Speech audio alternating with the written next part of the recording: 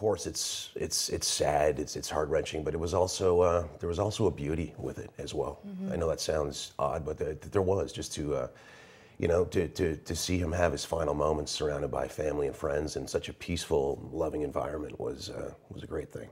Okay, now let's let's go into his legacy. He, you're an actor as well. Mm-hmm. He's an actor, and he was a great mentor to you. And I remember us talking about that uh, a little while ago. Talk about his legacy, what he's left for you, um, and and what what you kind of have learned from him over the years. Well, I've said it many times, and, and you know, and people maybe take it literally, but it's not what I mean. He, he taught me how to fly as an actor. Eh, It sounds it sounds silly, but he he taught me. He gave me, showed me, the, you know, the, the freedom as an actor that that it's okay to take a risk, you know, and within that risk, you know, it's okay to fail, and and that's kind of what I learned the most about James, and and just.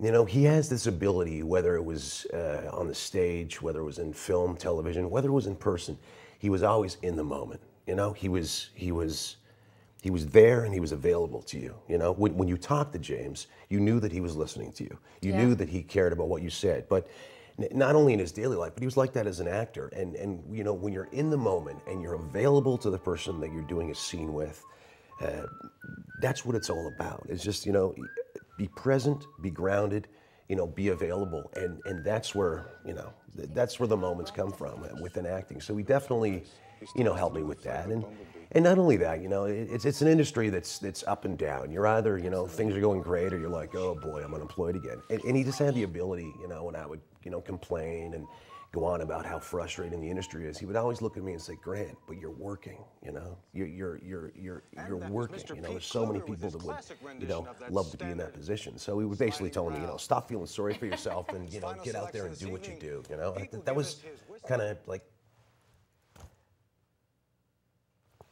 yeah, just sorry, Bill. Just that was kind of his thing. You know, just do what you do, be in the moment, and and and celebrate it. You know, that's he was big on that. He he, he loved life. He, you know, and he was, uh, you know, for me too. It's it's not even really about the acting with James. It was just the things he did for this community as well. Volunteering at, at the at this the table, a soup kitchen, so many different things that he that he lent his time and his talent to, and many different organizations, you know, within our community.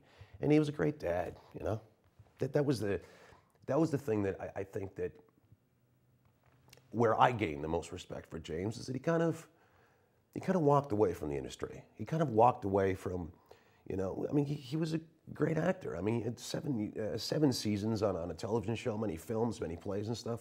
But he realized at that point in his life that his main priority or his main, you know, role, if you want to say, was to be a dad, was to be there for his daughter. And I don't know.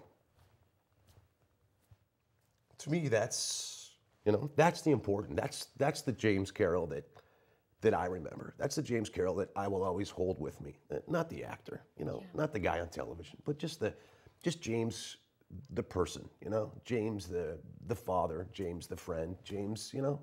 Like I said, he was so supportive of this, of this community, and you see it all over Facebook with people saying, "Oh, I remember the first time I met him. You know, we just had this, you know, great conversation." Or, you know, I, I was nervous coming to do an interview, and, and you know, and he made me feel so comfortable, and just made me feel, you know, a part of it and stuff. And, and that's, you know, that's what needs to be celebrated. And you know, uh, it was it was interesting just the last few times, uh, you know, talking with James when he was still, you know, uh, when he was still available to speak and stuff like that. He still had a sense of humor. It wasn't about him. There was no, oh, poor me, look at me. You know, it was still asking me how my kids were, asking me how my wife was, asking me how, you know, the acting's going, all that kind of stuff. You know, and, and continuing to to give me advice, telling me that, you know, because like you know, it's an industry where you feel like walking away a lot of the times, and that was one of the last things he said to me. You know, don't you walk away, Grant. Like, don't don't you stop doing what you do. You know, so uh, that that was uh, that's how I'll always remember. You know, James and.